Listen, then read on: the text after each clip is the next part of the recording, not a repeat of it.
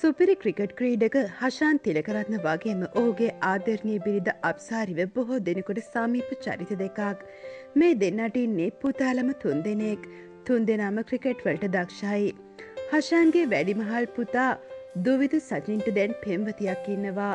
පෙම්වතිය සමඟ පුදනුවන් ගට්චාරූප කිහිපයක් මුහුණ පොතට එක්කරමින් ආදරණය බිරිඳ අප්සාරී ආදරණය සටහනක් එකතු කරල තිබ්බේ මෙන මේ විදියට. අපිත් මේ වයස පහු කලානේ පොතලට අවශ්‍ය පූර්ණ නිදහස ලබාදීලා තියෙන්නේ එයාලගේ අනාගතය ගැන තීන්දු තීරණ ගන්න. එයාලගේ කැමැත්තට අනුව.